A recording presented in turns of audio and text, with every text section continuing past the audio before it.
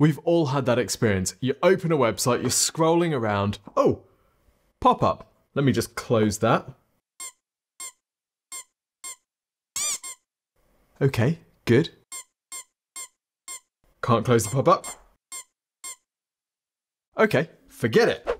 Oh, can't go back either? Forget it! Forget it! Forget it! You, my friend, have just found a conversion blocker. Just like forgetting to wear clothes to your wedding, conversion blockers cause misery and sadness for you and your visitors. But unlike forgetting to wear clothes to your wedding, this video is going to show you how to find and remove that misery and sadness.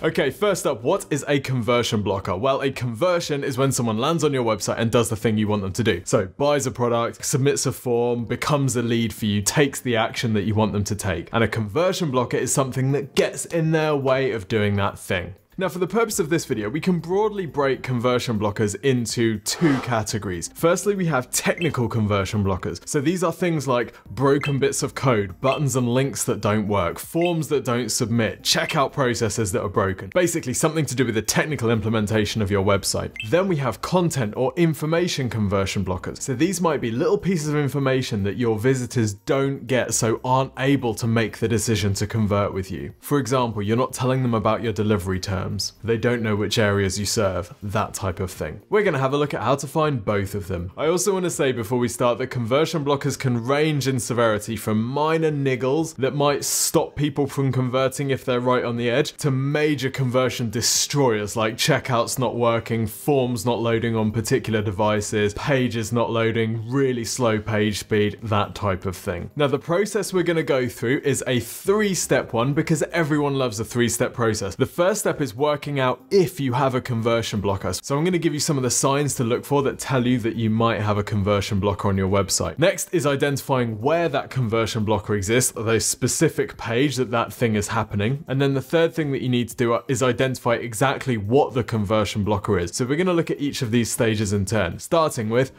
identifying if you have a conversion blocker. Now we're going to be using Google Analytics as our main conversion blocker red flagger. There are other tools that you can use and other methods that you can use as well, but we're going to be using Google Analytics today because that's the tool that most people have at their disposal. Obviously a really serious conversion destroying blocker is going to be very obvious. You're going to log onto your site one day, realize that you've got no conversions at all. That's going to be fairly clear. But for conversion blockers that are a little bit more subtle, let's have a look at some of the key metrics that you might use to identify identify that there could be an issue on your site. For example, here we are on an e-commerce site and what we can see from this is the landing page that visitors are coming onto the site through. Now, if this all looks a bit horrendous for you, let me just point out some key stats. Firstly, the number of sessions. This is basically the number of visits to this page as the first page on the website, okay? So someone comes in from any sort of traffic channel, they might come in from search or social, or they might come in direct. We're looking at the first page that people land on. So that's this first column. The column I'm most interested in from a conversion blocking perspective is the e-commerce conversion rate. This is the percentage of people that buy having landed on this page first. And what we can see from this data is something quite interesting. This first page, which is the home page on the site, has a 5.14% conversion rate, meaning someone who comes onto this site through this page has a 1 in 20 chance of turning into a purchaser. If we compare that to this page, which is a product page on the website, so this is a page listing a particular product, we can see the conversion rate of this page is 2 2.72%. Round about 1 in 40 of the visitors to this page is going to buy. If, however, we contrast it with these two pages here, both of these also uh, product pages, but we can see their conversion rates are much lower. For example, this page has a conversion rate of 0.39%. This page has a conversion rate of 0%. Now that tells us something about these two pages isn't working because clearly the site process is working. People are coming onto the site and they're turning into customers, but there's something about these product pages which is turning visitors off. So potential conversion blocker alert. Now it's not as simple as saying there's a conversion blocker on this page, you need to understand the traffic source that's driving people to this website. For example, if people are coming onto this site looking for pictures of Kylie Jenner, they're going to be disappointed because this is a B2B e-com site. Now, this site has a very different problem. Here we can see the different traffic channels that are driving traffic to this site. We can see that paid search is the top performing channel. We have social, which happens to be social ads as the next performing channel. There's one thing that all of the traffic channels have in common. In fact, there are two things that all of the traffic channels have in common common for this particular site, that is a high bounce rate, meaning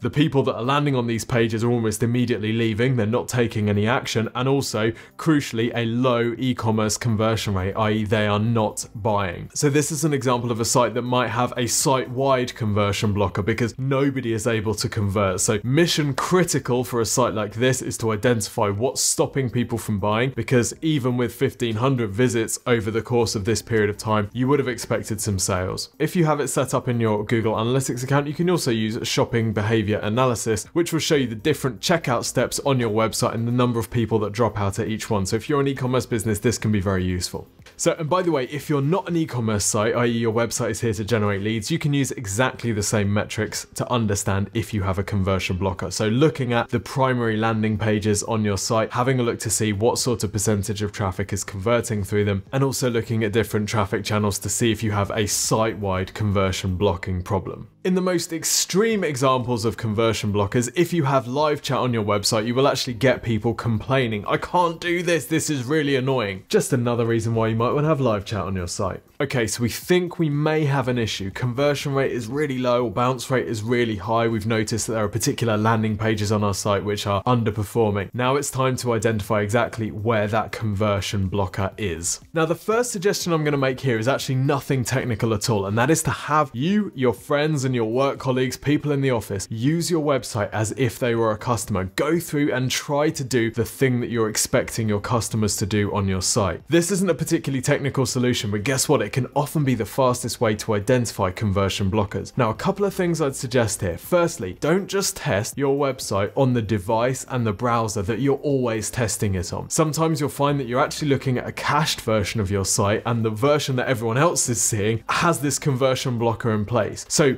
try testing it in a private browsing mode, try clearing all your cache, clearing your cookies, try testing it on different devices. You can even call up that friend who's still got an iPhone 4S and bangs on about it as if it's some kind of Luddite claim to fame. Get them to use it as well. If your website works on a 4S, it's gonna work on anything. If you're an e-commerce business, you might want to set up a 100% voucher code that you can give to people that are testing your site so they can follow your sales process all the way through to checkout completion. Now, if you don't already have live chat installed on your site, can be a good idea to get it installed so that if people are having a problem, they can let you know, particularly during your checkout process. If you notice that people are lingering through your checkout process, you can have a little pop up that says, hey, just wanted to check that you've got everything that you need. Remember the golden rule with live chat for every one person that tells you there's an issue, there's at least 20 to 50 who haven't told you that there's an issue. So don't dismiss the odd objection over live chat. Get to the bottom of it, find out what's causing that issue. So if you still haven't found the exact location of your conversion blocker based on the data from your Google Analytics and yours, your colleagues, and your family and friends using the site, then you might want to try user testing. Watching the general public use your website will be an epiphany. It'll be epiphanating. Epiphanizing?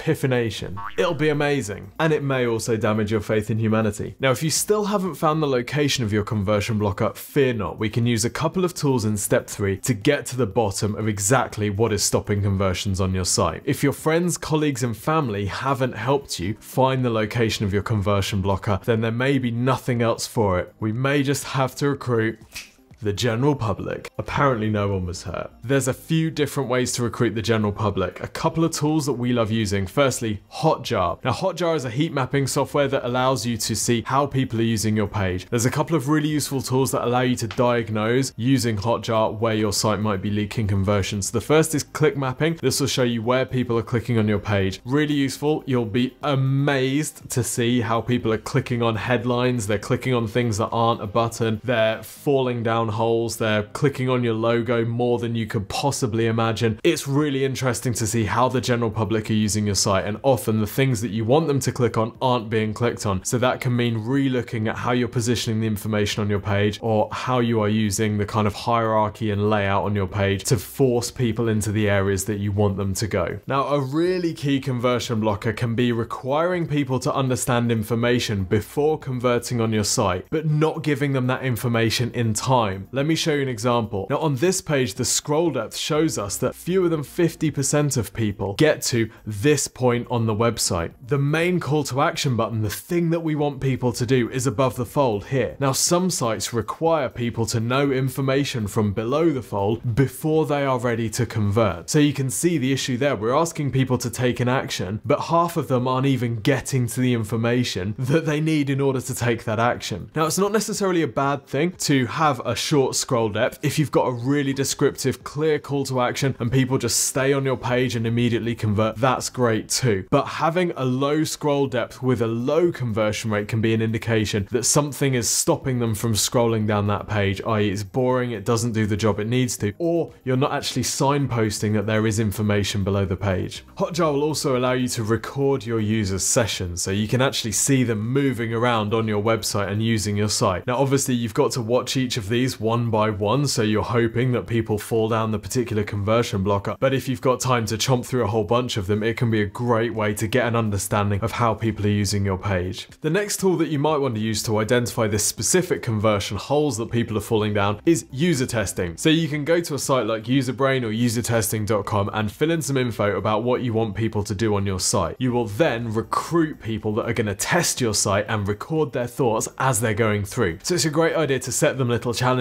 like imagine that you were this type of person and you wanted to buy an X, what would you do? And then they will talk through the process as they're going through your site. one thing to be careful of with user testing is quite often the testers actually want to please you or want to please the platform. So they can sometimes be a little bit artificially kind. So what we tend to do would be to ask them questions like what would stop them from using your site? What would stop them from buying you? What would make them choose a competitor instead of you? Because that might give us the information that we really need to identify this is a problem. Okay, so you've looked through your analytics, you've identified that you've got a conversion blocker, you've found the page that it's on, you've used user testing, your colleagues, your family, your friend with the iPhone 4S to identify what the conversion blocker is, and you've fixed it. What can you do in the future to make sure that if this thing reoccurs or other conversion blockers reoccur, you are notified quickly? Well, Glad I asked. Aside from leaving live chat on your site and letting your team know that if they spot any website issues at all to let you know immediately, the other thing that you can do is inside Google Analytics, you can do is set up alerts at the bottom and then in the final column underneath view, then you can click on custom alerts. What you can do here is set up an alert that pings you if conversion rate, for example, goes underneath a particular threshold. So let's say, for example, we wanted to make a conversion rate which was conversion blocker alert,